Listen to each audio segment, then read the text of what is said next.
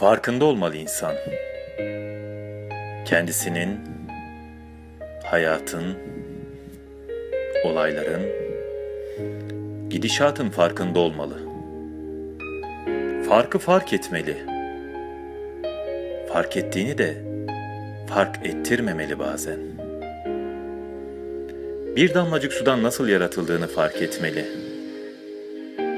Anne karnına sığarken dünyaya neden sığmadığını ve en sonunda bir metrekarelik yere nasıl sığmak zorunda kalacağını fark etmeli.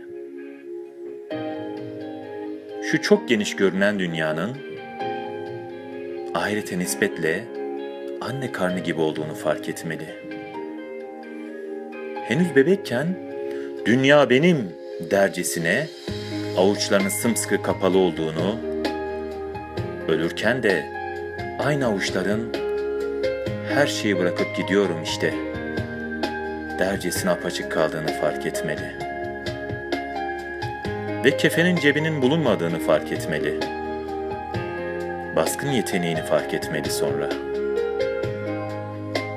Azrail'in her an sürpriz yapabileceğini, nasıl yaşarsa öyle öleceğini fark etmeli insan. Ve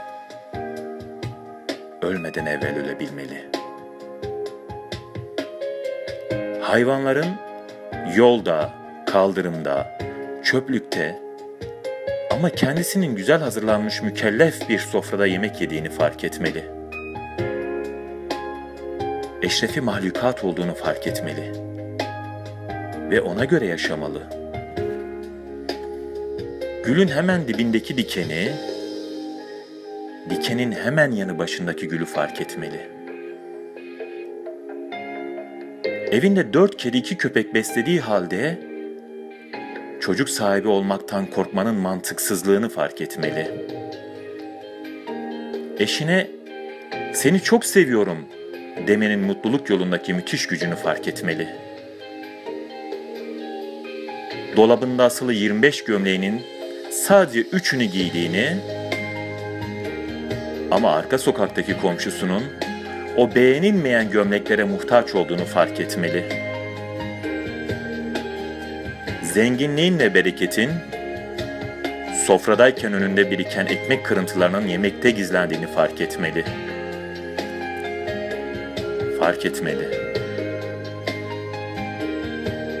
Ömür dediğin üç gündür. Dün geldi, geçti, yarın meçhuldür. O halde ömür bir gündür. O da bugündür.